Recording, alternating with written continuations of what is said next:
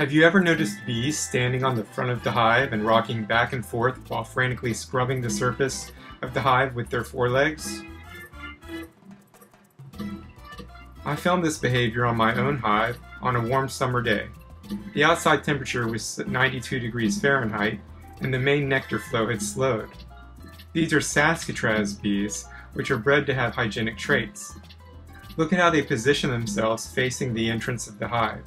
Their tiny bee bodies swing rhythmically back and forth as they rub against the surface of the hive.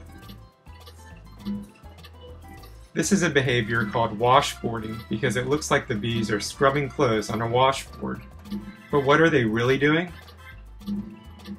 Bee breeder and geneticist Susan Cobey of the University of California, Davis has witnessed washboarding behavior several times on her hives at the honeybee research facility. She hypothesizes that these bees are in the unemployment line. It's a time when foraging isn't so good, so these bees are sweeping the porch for something to do, she states. Let's take a closer look.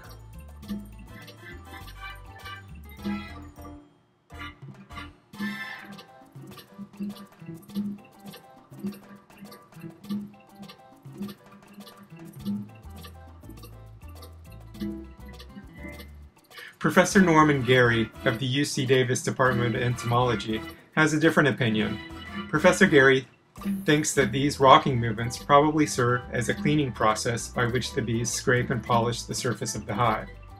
So what are washboarding bees really doing? Are they cleaning their home from pathogenic organisms? Or are they just engaged in busy work because they have nothing better to do? Is washboarding a genetic trait Please share your experiences and opinions in the comments below. If you enjoyed this video, consider subscribing to be kept up to date on the latest videos from World of Honey.